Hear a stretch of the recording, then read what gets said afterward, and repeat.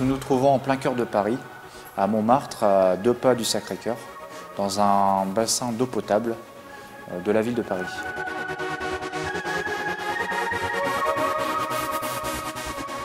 celui-ci, c'est un des plus petits en fait, d'eau de Paris. Il fait seulement 1800 m3. Il a été construit en 1889, au même moment que la basilique euh, qui se trouve juste derrière. Euh, le but de l'opération était de réhabiliter euh, le, réservoir d'eau potable qui présentait des fissures à différents endroits, de manière à garantir l'étanchéité de celui-ci.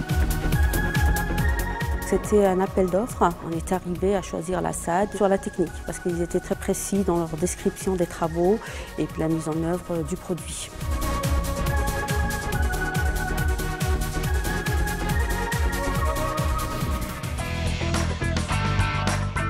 Les rouleaux ont environ 100 mètres carrés. Tout était découpé en surface sur la dalle euh, supérieure du réservoir et après euh, manutentionné par la petite trappe d'accès qui faisait à peu près 80 cm de diamètre. Nous posons 2200 euh, mètres carrés de revêtement PEHD. Les plaques sont fixées par des systèmes de rails avant d'être soudées.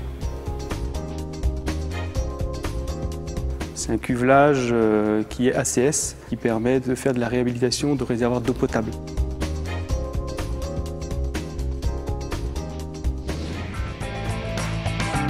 Donc les soudures sont faites euh, par extrusion.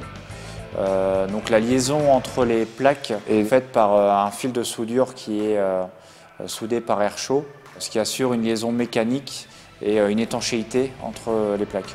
Le linéaire de soudure est d'environ 2 km.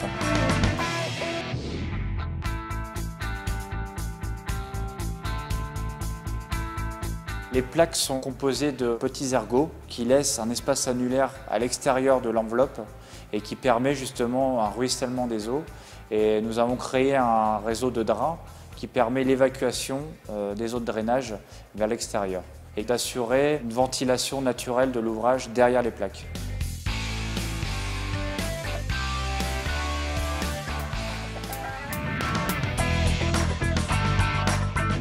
Donc il y a eu trois contrôles de soudure pour euh, vérifier l'étanchéité de, l'ouvrage. On avait un contrôle euh, périodique avec l'Institut de soudure qu'on avait externe, avec la mise en place des éléments nécessaires, à la radio euh, des 1700 mètres linéaires de soudure. En termes de communication, c'est un chantier très important. C'est assez innovant pour nous de faire ce genre de choses. Ça a été un des chantiers majeurs de l'année 2013. C'est une technique qui est peu employée, donc c'est une carte de visite, un produit qu'on peut proposer à nos donneurs d'ordre et à nos maîtres d'ouvrage, chose qui n'est pas encore très développée. Le résultat est très satisfaisant. Au niveau de la performance, ça correspond au résultat attendu.